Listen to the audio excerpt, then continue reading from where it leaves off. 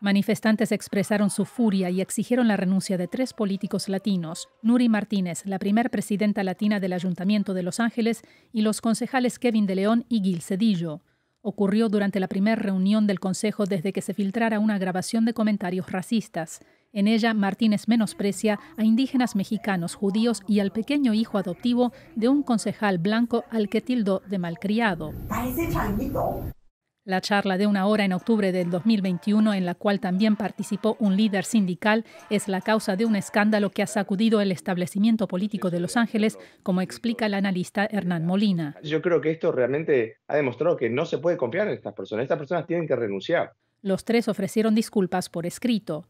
Martínez renunció a su cargo de presidenta y tomó licencia administrativa, pero el miércoles aún no abandonaba su puesto. Martínez! Renuncie, Kevin de León renuncie.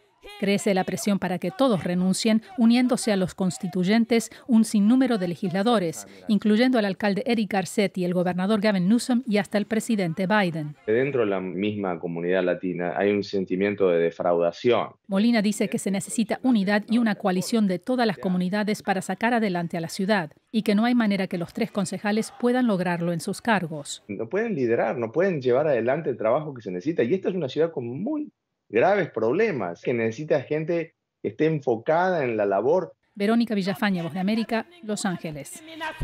Para la gente de color, todos somos iguales.